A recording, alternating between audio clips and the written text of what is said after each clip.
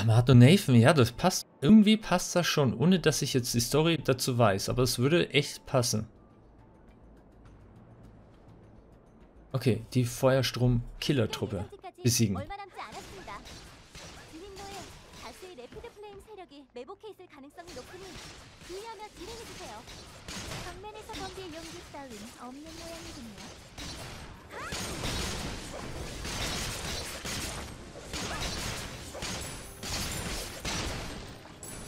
Aber andererseits, das jetzt hier in der, sag ich mal, in der letzten Episode zu offenbaren und zu Ende zu bringen, also entweder habe ich noch irgendein Kampfareal übersehen. Die Feuerstrom-Killer-Truppe besiegen. Das bedeutet doch eigentlich Kuriso, den letzten Anführer. Ich kann es mir nicht vorstellen. Also irgendwie fehlt mir hier ein bisschen was.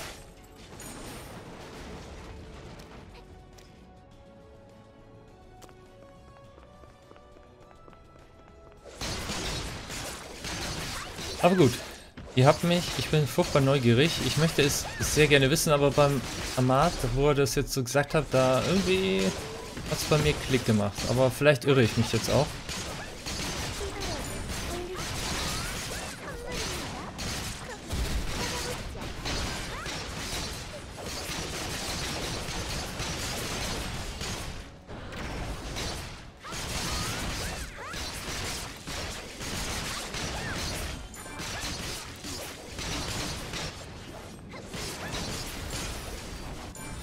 Ah, sehr schön, haben sich hier selber ausgeschaltet. Oh, oh, warte, einen habe ich hier übersehen. Komm her. Schauen, dann sammeln wir das da hinten auch nochmal rasch ein.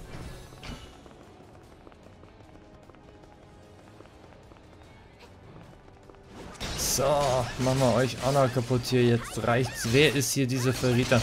Es sind nur Heuchler hier unterwegs. Habe ich so das Gefühl.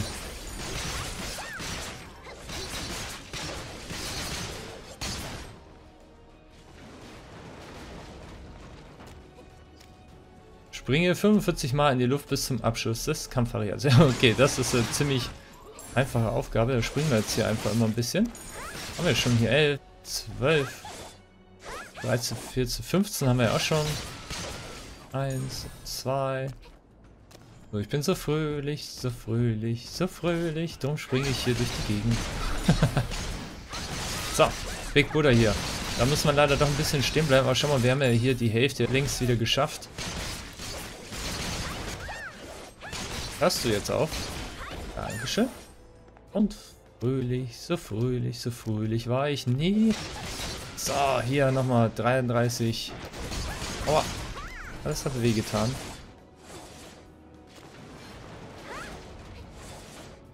Oh, das ist auch ein cooler Move. Den habe ich so noch nie benutzt eigentlich. Also wir laufen mal dazu und jetzt. Doch, das sah jetzt echt cool aus. 44, 45 und wir haben es geschafft. Wir haben eine weitere verbogene Quest hinter uns. Was wir auf jeden Fall auch noch machen werden, das wollte ich vorhin eigentlich schon aussprechen, aber habe es wieder vergessen. Unser Haus, da müssen wir jetzt auch mal irgendwas tun, irgendwann. Wenn die Story rum ist, wenn die Story rum ist, dann haben wir eigentlich nur noch die Raids und das Haus. Da freue ich mich auch schon drauf, da mal ein bisschen rumzubasteln. Materialien müssten wir ja langsam echt genügend haben. Geld haben wir ja auch. Doch, sehr viel mittlerweile mit den 2 Millionen. Schade, dass man hier nicht irgendwie in Aktien oder sowas anlegen könnte, um das Geld hier krass zu vermehren. So muss ich halt dann doch noch hart arbeiten dafür.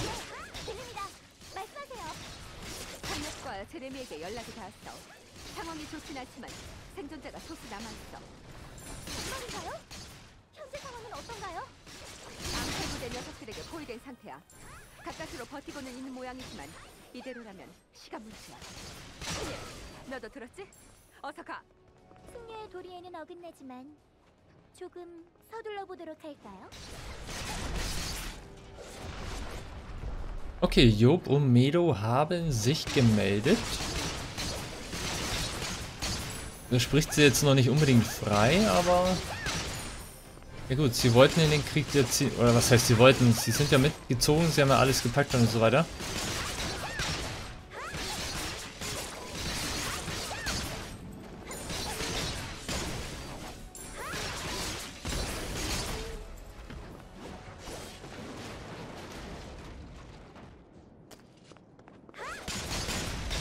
Ja, mit Zeit, dass wir auch wieder eine bessere Waffe bekommen. Aber mit Level 40 bekommen wir eh nochmal neue Ausrüstung dazu.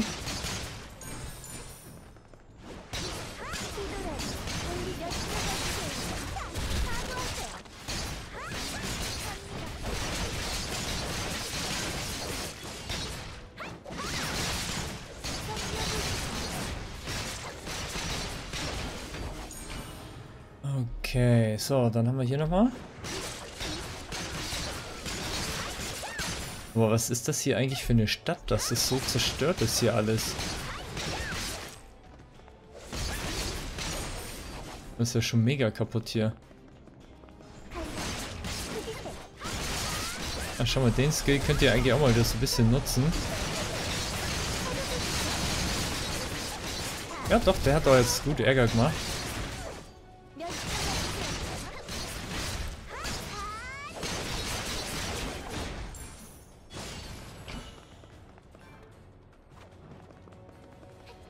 Das ist jetzt aber hier ein langer Bereich, du.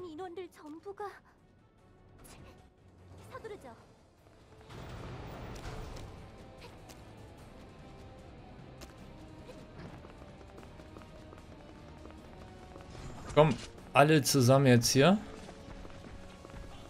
Ah, die Shinobis sind auch schon unterwegs. Sehr schön. Das ist immer krass, ne? Da denkst du, du hast so viele Leute beisammen und dann hast du trotzdem immer nur so eine ganz wenig Kombi. 134, 140. Oh. Okay, der Buddha ging jetzt echt ziemlich schnell kaputt und da kommen nochmal so ein paar Shinobis vorbei. Wir können ja eigentlich nochmal schauen, was quasi unsere Maximal-Kombi war. Bis heute. Oh, neuen Erfolg erreicht mit 9100 kleine Gegner besiegt. Kuriso.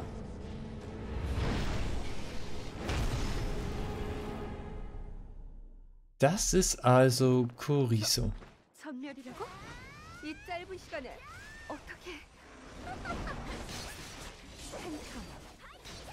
녀석이 있었던 건가? 충분한 상태입니다. 상엽 씨는 상엽 씨는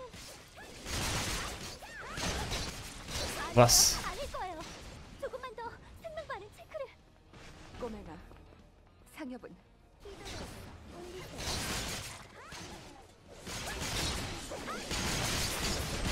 Job ist tot.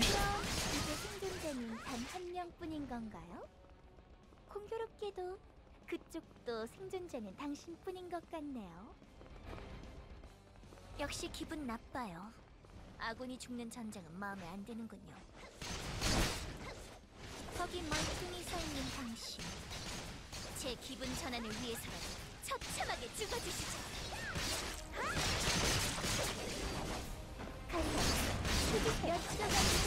Aber er ist stark, er ist wirklich stark, also der kann echt Ärger machen. Aber irgendwie hätte ich mir ihn jetzt deutlich imposanter da vorgestellt, als den Anführer des Attentätertrupps.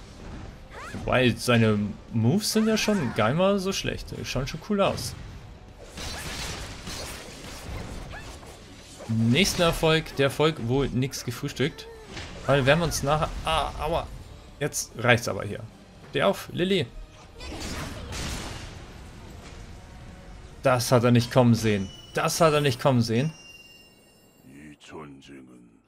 말했다, 팬텀이? 이 전쟁은 시작부터 틀려 있었다. 너희와 우린 잘못된 길을. 팬텀 침묵. 제레미 씨의 구출을. Medo.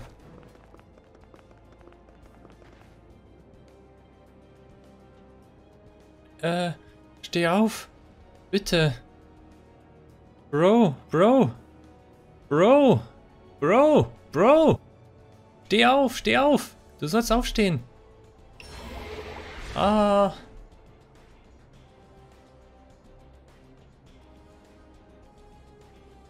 Warum kommst du erst jetzt? Ich habe die ganze Zeit auf dich gewartet. Warum kommst du erst jetzt? Er hat so viele Menschen wie möglich gerettet. Wir hätten noch viel mehr Leute verlieren können. Ausrede. alles nur Ausrede. Warum wurde er bloß auf diese ausweglose Mission geschickt? Job, das ist alles deine Schuld. Du hast diese Mission vorgeschlagen. Du bist nicht gekommen, uns zu helfen. Wenn du nur nicht hierher gekommen wärst, wenn du nicht hierher gekommen wärst, wäre das nie passiert. Dann wäre Job nicht gestorben.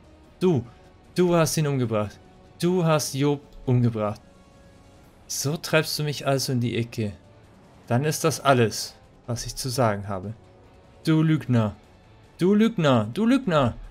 Du hast versprochen, uns zu beschützen. Du hast gesagt, dass du uns hilfst. Letztendlich hast du gar nichts getan. Verräter. Du dreckiger Verräter. Geh, ich will dich nicht mehr sehen. Verschwinde, hau ab. Ja gut. Setz dich hin und heul dich aus. Mehr habe ich jetzt äh, leider nicht mehr lesen können. Wow, das ist jetzt aber richtig harte Anschuldigung. Der Medo ist richtig, richtig niedergeschlagen. Ich kann ihn ja irgendwo verstehen, weil er uns halt so hoch gelobt hat. Wir waren ja quasi, also Lilly war ja für ihn das Nonplusultra. Ach Job. Wir haben also Job verloren. Wir wissen immer noch nicht, wer der Verräter war, aber wir haben Job verloren. Wieder einmal haben wir jemanden verloren. Ach je. Das wird jetzt ein sehr schwerer Gang zu Toro werden. Medo selber ist nicht hier. Raw ist auch nicht hier.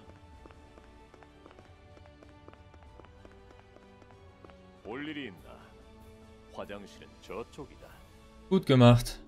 Medo wird gerade behandelt. Seine Wunden, sind nicht so schlimm. Er hat nur ein paar blaue Flecken. Ein Glück, das beruhigt mich. Aber er hat einen schweren Schock erlitten.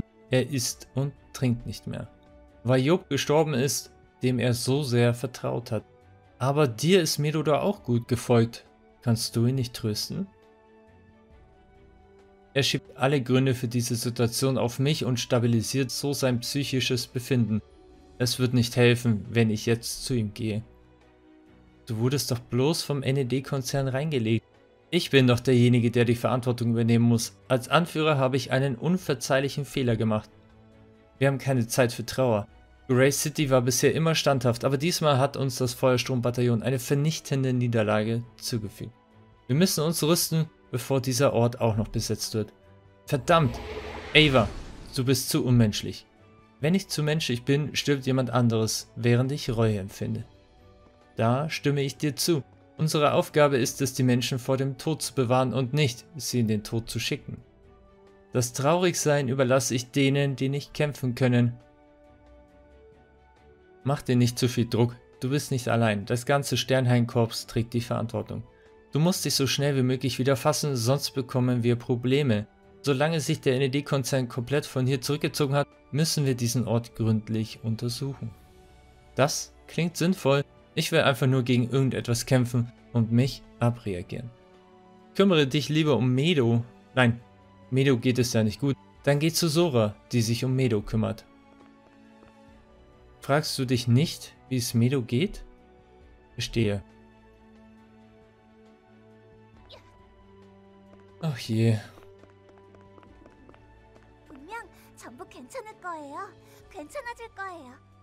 Ah, da bist du ja. Wie ist es dir seitdem ergangen? Ganz bestimmt nicht gut nach dieser ganzen Sache. Kannst du mir sagen, wie es Medo geht? Es sieht nicht gut aus. Er ist und redet nicht, er starrt einfach nur in die Gegend. Der Schock, den er erlitten hat, muss sehr groß gewesen sein. So etwas wird er wohl sagen. Er hat so sehr zu Job aufgesehen und ist ihm immer gefolgt. Du hast etwas Schlimmes von Medo gehört? Ich kann dich zwar nicht bitten, Verständnis aufzubringen, aber es wäre trotzdem schön, wenn du es könntest. Bin es gewohnt, gehasst zu werden also mach dir keine Sorgen. Job war für Medo mehr als nur Familie. Es wundert mich nicht, dass er jetzt so schockiert ist. Medo hatte nie viel Selbstvertrauen, aber das änderte sich, als er Job traf. Job gab ihm Selbstvertrauen. Medo wurde ein anderer Mensch, nachdem er Job gefunden hatte. Im guten Sinne. Und dann hat er dich auch noch gefunden. Plötzlich hatte Medo zwei Helden. Doch einer der beiden konnte nichts für ihn tun und der andere hat ganz einfach sein Leben verloren. Es ist zwar eine traurige Wahrheit, aber Medo musste jemanden finden, den er hassen konnte. Nur so konnte er es aushalten. Und man kann die Toten nicht hassen, deswegen warst du die einzig logische Wahl für Medo. Bitte, hasse ihn nicht dafür. Wir können nur hoffen, dass es mit der Zeit besser wird, bis Medos Herz von alleine heilt. Denn er ist sehr stark. Ich weiß, dass er es schaffen wird. Ja, das stimmt. Auch Job würde das so sehen. Wenn es wirklich einen Jenseits geben sollte, dann wird Job von dort auf Medo schauen.